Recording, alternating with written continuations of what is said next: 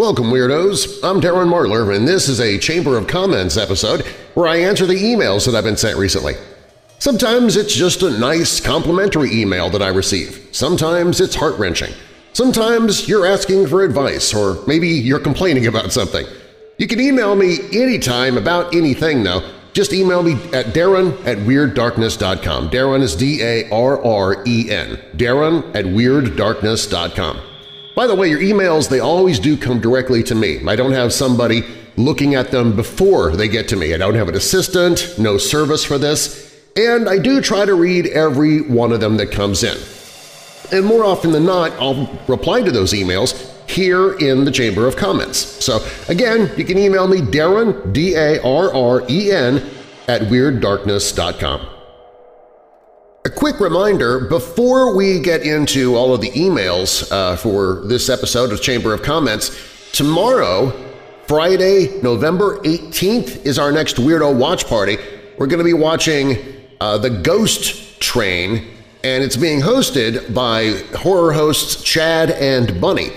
Uh, the show, the movie itself is a 1941 horror comedy based on a play of the same title, Ghost, The Ghost Train. So uh, it starts tomorrow night he, uh, on the Weirdo Watch Party page at WeirdDarkness.com. Starts at 5 p.m. 5 p.m. Pacific, 6 p.m. Mountain, 7 p.m. Central, 8 p.m. Eastern, 9 p.m. in Hawaii, and for our friends in Greenwich Mean Time, 1 a.m. So hopefully you can join me tomorrow. It's always a lot of fun in the Weirdo Watch Party. Okay. Our first email comes from David. He says, Darren, I hope you had a great weekend and are ready for this upcoming week of joy. Thank you for your episode. It really touched me as the stories and letters presented in this episode were super compelling. Uh, oh, I'm sorry. Uh, David is referring to the uh, Chamber of Comments episode from November 5th. Okay, now, now I know what he's referring to. Back to his, his email. Uh, thanks for your episode. It really touched me as the stories and letters presented in this episode were super compelling. I appreciate the very relatable recounting of the incidents in it, and I'm very glad to have found this episode. I was listening late last night, and something told me to stop it and pick it up this morning. Turns out this was the right move, because my brain was then ready to receive the messages therein. I've always believed that God brings us around to what's best for us in life by connecting us in ways specifically for each of us, you and I might hear the same podcast but get different messages from it. For example, I was watching Battlestar Galactica 2005 to 2009 that brought me out of a lifelong fog of not respecting the story of Jesus. It slowly built my fascination with the series and, toward the end, one character who's not involved very much in the religious thread throughout the story in that she doesn't really adhere to faith as we see it today, but turns out she was well, let me not give it away in case you want to experience it someday, but in the end it's basically a refrain of, I've been to Earth, I know where it is, and I'm going to take us there. For them, Earth was a paradise. This brought me to, to the recognition of the parallel of follow me, I've been to heaven, and I know the way that Jesus brought to us. I've got starting to ramble here, so I'll be brief. I appreciate you for the hard work of bringing us this podcast and letting God uh, speak to us in the way that he knows he can reach us. I'm also a podcaster, and I know firsthand how taxing the work can be. And ours is only once a week. Please keep doing what you do and know that God will continue to work through you. It's kind of a trust of the process, and the process leads to salvation, which comes in whatever specific way we're each able to receive it. Have a beautiful week. Signed, David. Wow, David, well thank you. I, I appreciate that. You know, that was a really powerful Chamber of Comments episode. I don't think we've ever had one quite that powerful, uh, especially with that very first letter, which is, uh, which is what I'm pretty sure you're referring to. I mean, just the first letter alone in that Chamber of Comments took us, what, 45 minutes with uh, me reading it and then replying to it? It was, it was a big one. And it was so uh, spiritual in nature and really made me think about replying with it I made that the Church of the Undead for last Sunday. I just took that section of the Chamber of Comments and posted it to my Church of the Undead podcast because it was it was that on the nose. So I'm glad you got something out of it, David. Thank you. And best of luck on your podcast. a couple of reviews that came in from uh, Chartable. Uh, looks, looks like Marta79 says, Uh, five stars, was looking for a new podcast about the paranormal and started to listen.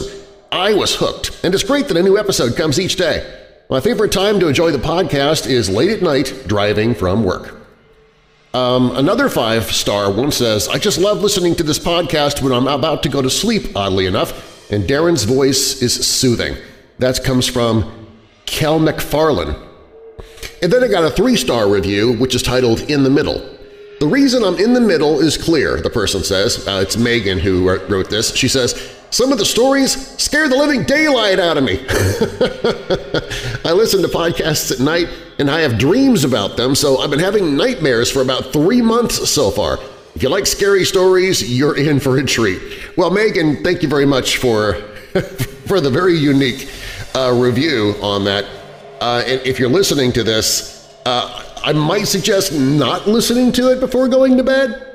just, you know, if it gives you nightmares, just, just unless, unless you want nightmares, but it doesn't sound like you're really into them. So anyway, thank you. Uh, let's see here. I got an uh, email from Deborah. She says, Hello, Darren. Thank you so much for your podcast. My boyfriend and I have been listening for a little over three years now, and we really love it.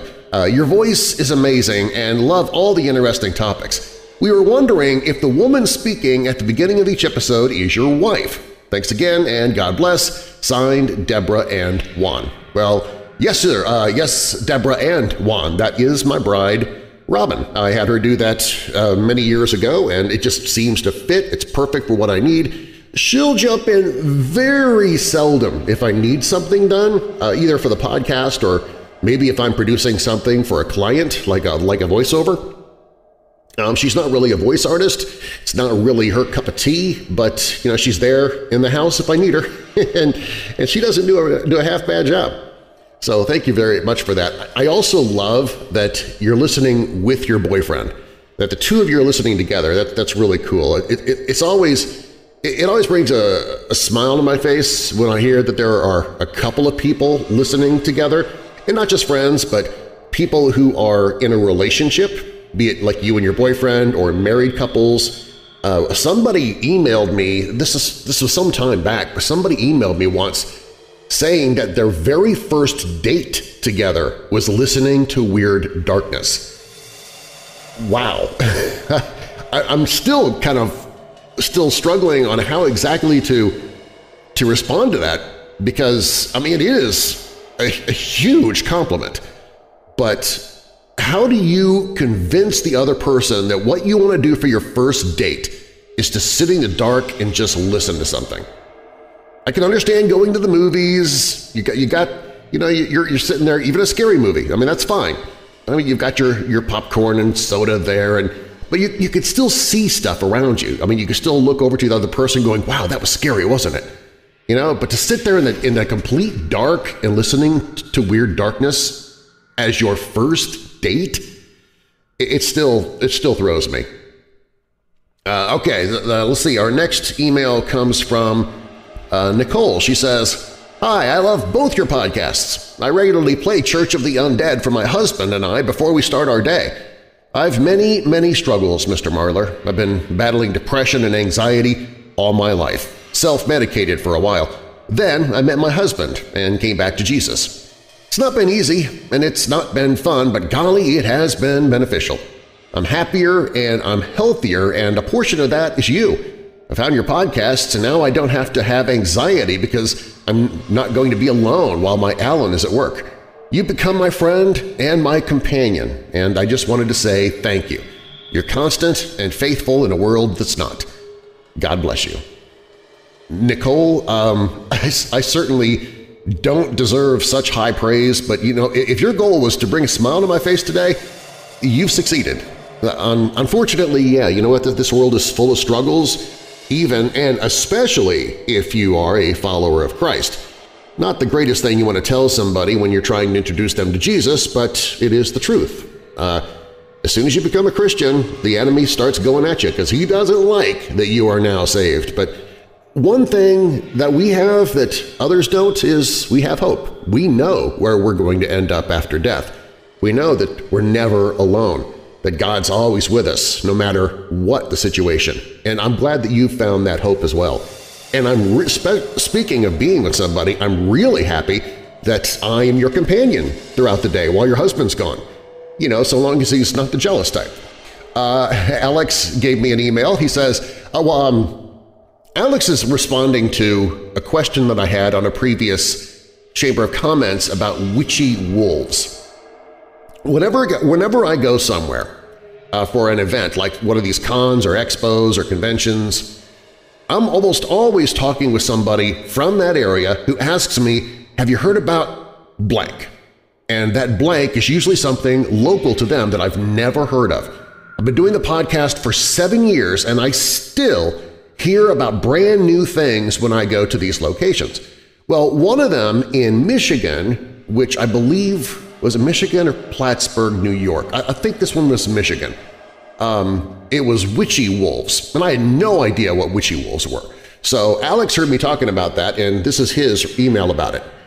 So the witchy wolves legend is an old Chippewa thing.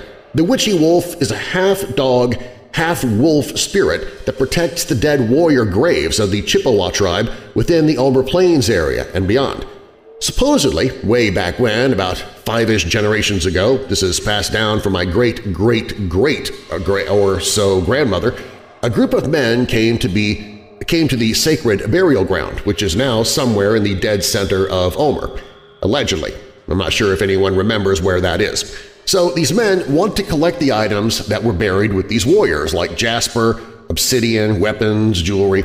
When they began to dig, they heard a growl, Apparently it was so deep and so loud it scared them down to their bones.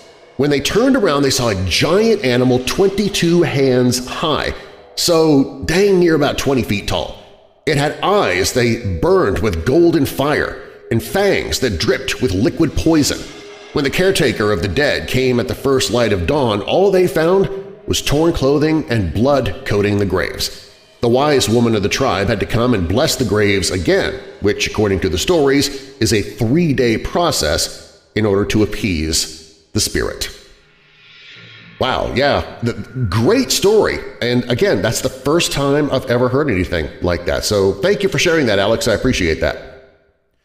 Karen sent me an email saying, uh, My mom introduced me to Weird Darkness and we both listen while sewing, usually. Recently, I've been on medical leave for a back injury, and when I came back to work due to my injury, I was assigned parking lot duty. I'm a security officer at a casino, so the job I get is checking in RVs. I've been having some extra depression issues due to my injury, and in my boredom and frustration at not being allowed to do my normal work, I remembered Weird Darkness and have been listening to Weird Darkness starting October 1st. Listening to you has calmed my nerves at being alone in the parking lot and decreased my boredom immensely. I just heard the Chamber of Comments for October 15th and the complaint about true crime. I like true crime, and I hope you don't get rid of it, and if families are disturbed by some of it, you do have a warning at the beginning of every episode stating that stories and content might be disturbing to some audiences. Thank you for everything you do, and thank you for the stories. Someday I may even get brave enough to actually do something about my depression, but for now, listening to your content helps a ton. Thank you again, signed, Karen.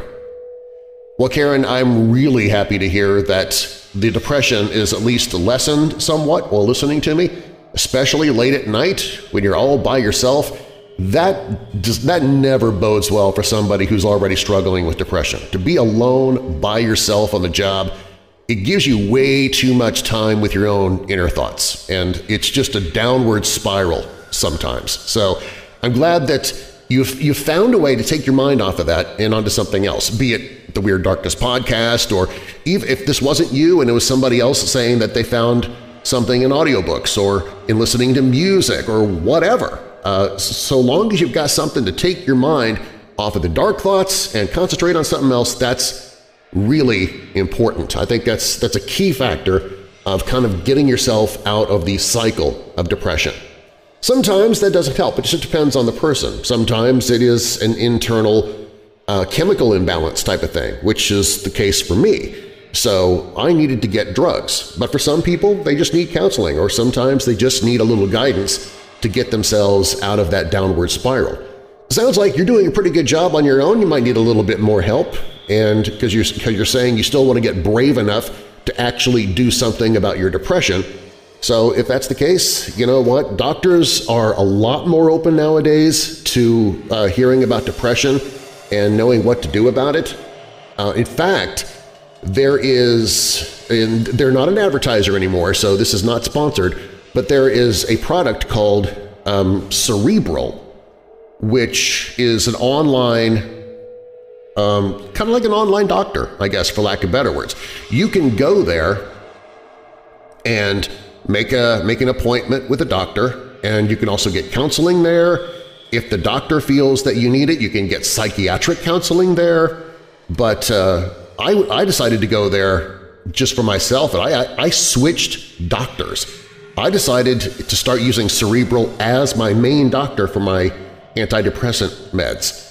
And uh, it works really well because all the meds come to me either to my – I can I can get them either at my, my drugstore or I can get them via mail. It just depends on how your insurance company wants to handle it, but you know, I, I check in with him once every uh, few months online, so I'm still in my office doing it. I don't have to drive all the way to the doctor's office because he's a four-hour drive away from me. I have met him personally because there was a couple other things that I wanted to talk to him about outside of Cerebral, but I met him through Cerebral and it, it really worked well for me. Um, I do have I don't know if the, uh, the deal is still in place because they're no longer advertising with me, but there was a time where you could save 65% off of your first month of, uh, of medication management and care counseling if you, go, if you went to cerebral.com slash weird. I don't know if that's still the case, but you can try it and see. But uh, if that doesn't work or if that link isn't working anymore, um, then just go to my sponsors page at WeirdDarkness.com and there's a link there for Cerebral and you can go there and that should, uh, that should help you out. So, all right, so uh, again, not sponsored. It was just something that, that popped into my head. Uh, Eric sent me an email saying, Weird Darkness, the damn thing from July 14th. The absolute best I've heard so far. I listen at least six hours daily while delivering, but yeah, that episode, awesome. well, thank you, Eric. I appreciate that. Um, the damn thing. You know what? It's been so long since I posted that. I'm going to have to go back and listen to that again uh, just to see, uh, see if it really is awesome or if that's just your opinion. I appreciate it. And one more email. This one comes from Brianna. She says, Hi, Darren. I was just listening to the mid-October Chamber of Comments episode. Yes, I'm behind. I was catching up on another podcast, and someone had written in about not liking the true crime stories. Personally, I only listen to true crime podcasts, except Weird Darkness, just as I mostly watch true crime TV shows. In my experience from other listeners and other podcast hosts, sharing these stories is never about glorifying the killers or criminals, but sharing what they did because the world needs to know that monsters are real, and quite often, we humans are the worst of them. It's just like Stephen King once said, monsters are real, ghosts are real too, they live inside of us, and sometimes they win. But more than just reminding us about these awful people, these stories also keep the victims' memories alive in a way and serve as a reminder that just because they may have been killed doesn't mean that their killer won. By, te by telling these stories and saying, this monster killed these people, but this is who they were and we remember them, we're making sure that the victims don't get forgotten and I found that in every podcast I listen to, just as much, if not more, time is allotted to speaking about the victims and their families than the perpetrators, and a lot of compassion is given to them. So in my opinion, the true crime stories should stay. Plus, not all the true crime stories you've done have been about murders. There have been bank heists and bungled robberies and the like, too. But maybe you can sprinkle in some Florida Man stories to keep it lighthearted for the people who feel like the serial killer stories are too dark. Wishing you, your bride, and your kitty a safe and happy holiday season, Brianna. And then she throws in some emojis of a Christmas tree, Santa Claus, and a turkey. Thank you, Brianna. I, uh, I really appreciate that. those Florida Man stories, I tell you, if it wasn't for Florida Man stories, my first podcast, Daily Dose of Weird News, would likely never have existed.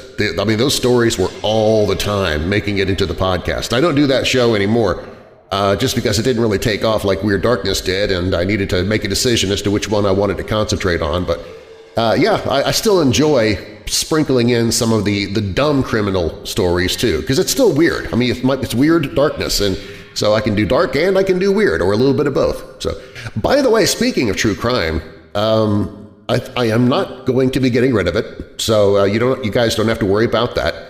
In fact, I have been working on well not well working on working on I like I like I'm thinking on it, but I'm going to start working on doing a live presentation at these events that I go to. Yeah, quite often, these conventions will also be conferences.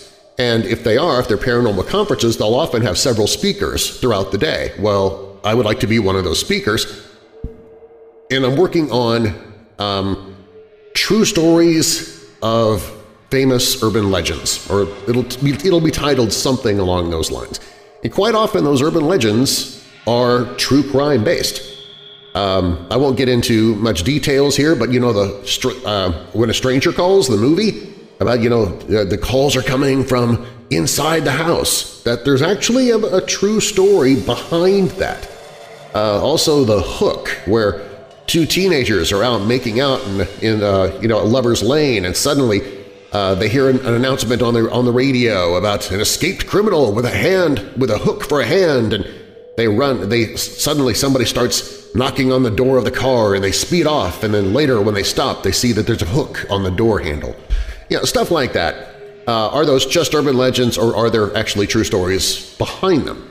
And in fact, another one that uh, I'll probably craft into the presentation is what I share every Halloween on the Halloween live stream, and that's the one about uh, razor blades and poison and everything in candy, where for a long time that was just an urban legend until it was no longer an urban legend and it actually started happening. So stuff like that. So I'll be working on that, and hopefully I can use those in 2023. Speaking of the road trip, uh, our December 3rd event was supposed to be in Champaign, Illinois for Christmas Carnage, and unfortunately they sent me an email yesterday saying that they've had to cancel that due to some, uh, some other conflicting events that were also happening in the same area, and they didn't want to take away from those other events, which I think is actually pretty cool that they're doing that.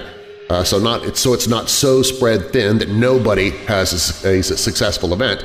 So I think they're going to just uh, focus on an event later in 2023. So if you were planning on coming to Champaign, Illinois, uh, don't well don't bother, or at least not for Christmas Carnage, not to see me because I won't be there. Um, so I really have no more dates left for this year. 2023 is when things start up again for me.